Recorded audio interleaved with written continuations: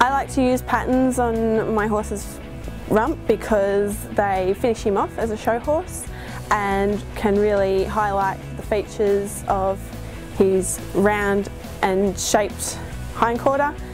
On Giorgio I like to use squares in a pattern and just simple shark's teeth.